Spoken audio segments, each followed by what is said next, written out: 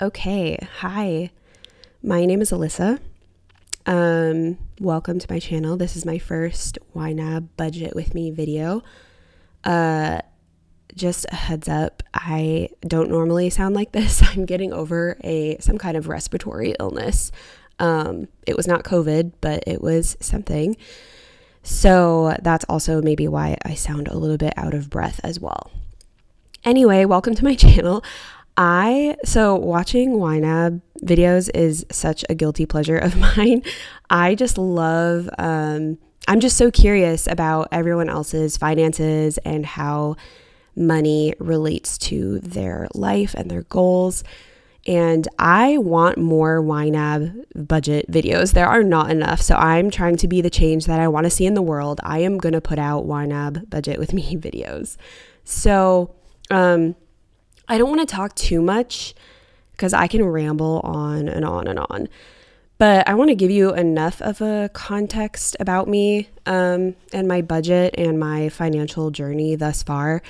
So I'm 33 years old. Um, I work from home and I'm currently living with my parents. And that was not a financial decision uh, originally. It was just, um, I was kind of in between a relationship. Um, well, I just ended the relationship and I was trying to figure out like where I wanted to go next. So I shacked up with my parents and I've been here um, for almost two years. Wow. Um, but I do plan on moving out um, probably the first quarter of 2024. So I'm starting to budget for that. But all that to say, I was not financially literate until about March of this year when I came across the personal finance community on YouTube, um, specifically Caleb Hammer. uh, if you know, you know. He completely opened my eyes. Like, I thought I was okay with money before because I was making enough to pay my bills, pay off my credit card. Um, but that was it. Like, I wasn't really seeing my money grow, but I was expecting it to grow. um, so Caleb really opened my eyes to where my money was going and where I should be putting it. So, in a matter of just this year, um, so you can see over here, I've got about $25,000 after my credit card debt, which this is a zero interest card that I'm actually leveraging. Um, I'm putting all my monthly expenses on it and I have the money to pay it off um, thanks to YNAB. But I'm doing that so I can gain interest on this amount sitting in my savings account up here versus paying it off um, since it is zero interest until summer of next year. So that's what I'm doing there. But so I have um, $25,000, um, including this. And then I have $71,000 invested in my various assets right now which that's that's completely new to me so a year ago my net worth was like $40,000 and that's only because someone told me to open a Roth IRA when I was 30 years old that's when I first heard about Roth IRAs um, and the fact that maybe I should be putting some money aside for retirement. And that's all. Like that that was the extent that I took it was just opening a Roth IRA and maxing it out every year. So that's really all I had to my name and I didn't really even understand like like I thought that that was enough for retirement was just maxing that out every year. Um so this year since March specifically, I completely just woke up to my finances and my goals and um, how to make my money work for me. And I'm so thankful that I have been living with my parents during this time because all the money that I would have been spending towards rent, I'm basically shoveling into my investments to quote unquote catch up on retirement. Um, and everyone's on their own financial journey, you know? I just, for me specifically, it would be different if I were like paying off student loans or something like that. But it's, I, I don't know, it kind of depresses me to look back at, um, I track my net worth in Mint since 2014. And it's kind of sad to go back and look at how stagnant my net worth was. Like it was positive. I didn't have any credit card debt. But so my net worth was positive by like, you know, a couple thousand dollars. And that's kind of just where it stayed um, because I wasn't, I didn't understand like why you should be saving money and what I should be saving money for and like investing. I didn't know. So I was essentially kind of living paycheck to paycheck without even really knowing it. Um, so I just wanted to point that out because I'm in a very privileged position right now living with my parents um, that I'm able to do that. When I move out, I'm not going to be able to put as much towards investing as I am, and even savings. Like I'm going to be putting more money towards rent and living expenses. Um, so I just wanted to call that out. Um, that this is all just very new to me and something that I've done in in the past um, what six seven, eight months. Um, yeah, so that's a little bit about me. Also, I'm a 1099 contractor, so I pay quarterly taxes. And yeah, I don't want to talk too much. I've already talked way too much. So, I'm what I'm going to do actually. Oh, and this money, I get paid weekly from my contracting job. And this ready to assign also includes some interest that I got from my high yield savings accounts. So that's really nice. Um, so I'm going to go ahead and just set this aside for a second. And I have this bills view. This is all just the boring stuff that I don't care to look at once it's funded. Um, and this is what I consider my month ahead. Um, I really only care to fund my actual, like, my bills. And this even includes subscriptions. It's just everything that is on auto auto withdrawal. I just want to have that funded for the next month. Um, so that's what my month ahead fund is for. And I'm going to fix this with my next month category and go back. Okay, perfect. Then I'll go ahead and put this back into ready to assign. And then I set aside $300 a week for the next month of bills. And as you could see, my um, my living expenses, well, they're not my living expenses, but just my fixed bills were like 900 something. So $300 a week, that gets me anywhere from 12 to $1500 depending on how many uh, paycheck weeks are in the month for me. So the goal with that is by the end of February, um, around the time that I'm looking to move, um, this available amount for my next month's bills should be about like $2,200, um, which is what I'm anticipating for my uh, bills once I move out and get my own apartment and stuff. So that's why I fund it a little bit extra right now. So we got that out of the way. And then I do $500 a week towards my retirement. Um, that's my HSA, my Roth IRA, and my SEP IRA. And then I've been putting aside $250 a week for taxes. That will have to go up depending on, um, I may possibly be moving back to Pittsburgh.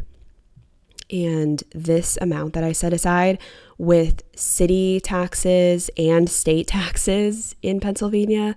Um, oh, I should mention I live in Tennessee right now, so there's no state tax. I just pay federal and self employment tax.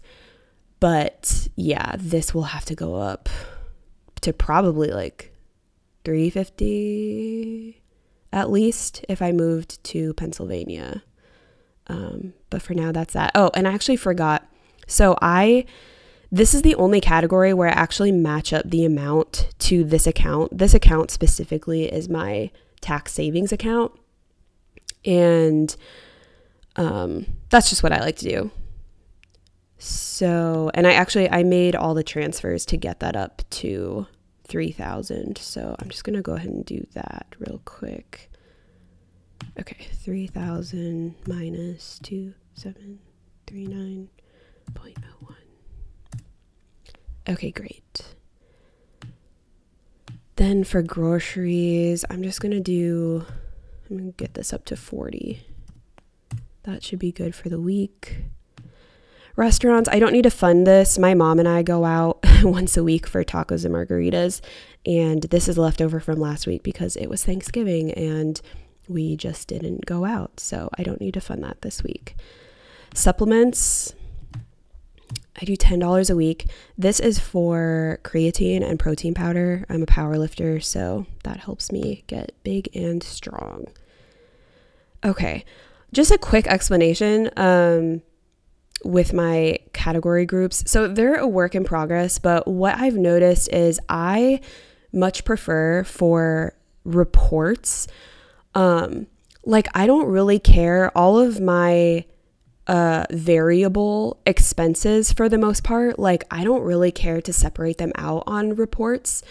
Um, so I just keep these categories. I don't really fund them besides this personal category, which is more like luxury. It's for haircuts and like um, like luxury personal care items that cost a little bit more than you know a cheap face wash at the grocery store. Um, I like to set aside money for that. But otherwise, these are where I track my spending.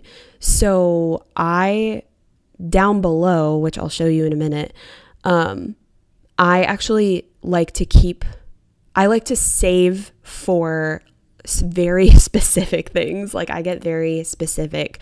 Um, so for like giving, I have a whole category group down here special occasions where I specifically save for each person's birthday and Mother's Day, Father's Day, you know, showing up with a bottle of wine to a party. I save for Christmas, um, gifts for wedding showers and baby showers, um, stuff like that. But I don't care to get this granular on reports. So, what I end up doing is when I spend the money, I'll just transfer, like if I bought a gift for my mom's birthday, I'll just transfer this money up to this giving category um, and spend it from there so that on the reports it just shows up under this discretionary group. That's just how I like to do it. Um, so, that's why these, for the most part, are they just kind of stay empty until I spend something. And then for gas, I am blessed and I only fill up like once every six weeks because I work from home. And um, this is more than enough. Uh, gas has been going down. It'll probably cost me 45 to fill up, but I like to have that buffer.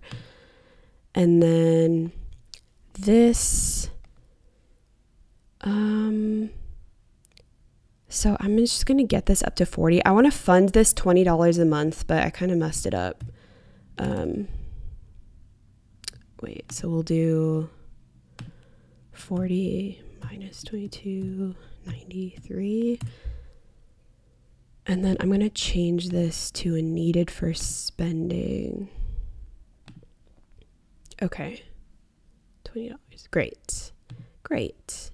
Um, so that's for like oil changes, basically. I have a separate fund for like auto repair and stuff like that. Also, this is where I will spend my auto repair savings. Like, this is where I save for just a simple oil change.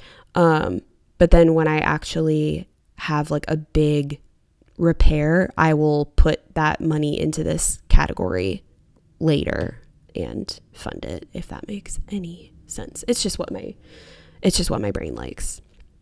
Okay, and then um, therapy, I do $25 a week. I need to figure out, I want it, I want like a monthly savings builder, but weekly. I want it to ask me for $25 a week. Um, so I don't know. I need to figure that out later. Um, it's I go once every four to eight weeks, and it costs $140 every time, and I have a an appointment in a few days. So I will be spending that and then I want to be saving up for my next appointment. These are all funded. and then we'll go ahead and fund all of my special occasion sinking funds and we'll minimize that. Okay. Um so, welcome to my banana stand. I did not come up with this. This is an arrested development reference. Um, basically, there's always money in the banana stand. And I didn't even I didn't come up with using that for this category on my own. I like to go to the YNAB subreddit and see what other people use as their category names. And so many people use this as their emergency fund or like sinking fund names. Um, so I totally stole that. But I love it because, so like I said, I like to get really granular with my savings and then pull that money up into my spending categories when I need it. So, like, literally, there's always money in the banana stand because I don't, like, this is where I just pack money in um, for later and for very specific purposes. I won't explain all of these because I don't want to keep you here for half an hour. Although I will just say, for legal and employment purposes, this is a joke. so this this category is my like emergency, emergency, emergency fund. This used to have ten thousand dollars in it, um, but then it, last month I actually moved. Um, 7250 into my medical deductible because that yeah i have a really high deductible. And then i put i made my car repair fund up to $1500 to me those are like the biggest two emergencies that usually come up for people right? So i didn't it feels better to have that split out than to just have $10,000 sitting that I can never, ever, ever touch um like yeah it just felt better to have it split out. So now since i'm going to be a month ahead with my bills with my month ahead fund um this would like i was gonna get it to three months of bills so like 6000 to 7000 um, for when i move out but it's not a rush right now. Um, that's the ultimate goal would be to get it to 6,000. But now that I'm thinking about it, I probably would only need to get it to f- like four, maybe like 4,400, maybe 5,000. Um, and this would be for like absolute, like I completely blow through all of my other sinking funds for whatever reason like i lose my job. I can't even think of like why i would use this money. Um so yeah that's what that is. Like emergency emergency emergency fund that i will like never ever ever ever touch. Um, but i just wanted to mention that because of the name. Okay. So what to do with this money? I'm going to go ahead and fund big ticket. This is for like concert tickets and stuff like that that cost a lot of money. And then these categories that I have money um, in the title, that's just where I want to cap it at. I wish YNAB had something where you could, you know, assign $120 a month until I reach 750 and then just stop it. Um, but they don't have that yet. So that's how I do that. So yeah, I I think 750 would be enough and then I can use this $120 a month elsewhere. But I'll fund that for now. And then we'll go ahead and fund uh yeah, car tires tech and unplanned travel. I also have this Uffda fund here. That's a Midwest saying. It might even be specifically Minnesota. I'm originally from Minnesota, um, but Uffda, it's like, it's an exclamation, like a negative exclamation. Um, who is it? Jessie. I forgot her YouTube name, but I watch her budgeting videos. Um, I'm so sorry, I forgot her YouTube name, but she has an Uffda fund as well, and I really liked that and I'm saving up just like 200 to $250 for like less severe, like mild emergencies, like maybe if I get, um, you know, a $200 speeding ticket or something, um, that's what that is for. Cause I just like, I don't want to ever touch this actual emergency emergency fund. This would be like an income replacement fund if that ever happened. So, yeah, that's what that is for. And then I think what I'm going to do with this extra money is go ahead and put it in my next month fund and get that beefed up. And just like that, we're done. So, thank you so much for watching. If you made it this far, um, please be nice. um, yeah. If you want to sign up for this software, I will have a link in the description. The software YNAB changed my life. Like, I wish I found this 10 years ago. I would have been in a completely different space financially.